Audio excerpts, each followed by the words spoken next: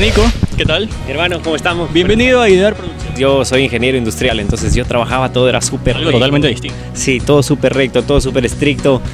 Y de pronto entrar a televisión era como un mundo totalmente diferente, donde cada día hacías una actividad diferente, cada día había algo nuevo, cada día pasaba algo raro diferente. No es que decía, voy a ser uno de los más queridos, pero yo decía, si yo a esto, si yo a esto le estoy cogiendo cariño, si me está gustando, yo siempre hago todas las cosas que hago, trato de hacerlas lo mejor posible. Mucha coincidencia que era como, ah, bueno, me sacaron del programa o querían que me vaya del programa y de pronto la siguiente decisión que se toma sobre el programa es que se va del aire.